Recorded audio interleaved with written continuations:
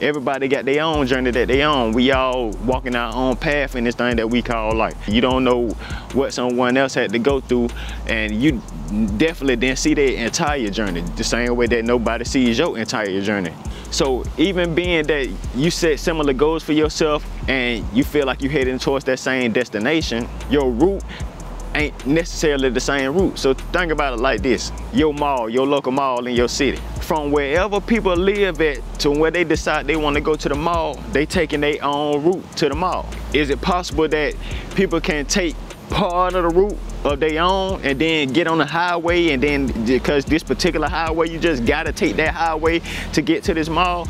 Yeah that's possible. The thing is it's multiple routes to the same destination. Your route may be a little bit similar, but it may not necessarily be the whole way. You looking at somebody's whole route that they took to the mall and you're not considering that you stay on another side of town. So that beginning route that you take got to be a little different because you got to get to the highway that take you to the mall. You can't compare your route to somebody else because maybe somebody else live closer to the mall or live closer to the highway that take them to the mall or maybe they live after the highway so they ain't even had to get on the highway or maybe they had shortcuts. You know they knew back streets so they can avoid traffic on their way to the mall. Y'all got the same destination it's not the same route. And when you get to looking at somebody else's journey and you get to comparing yours to theirs then that's when you start feeling down about the things that you're doing. Start feeling like man I ain't accomplished enough.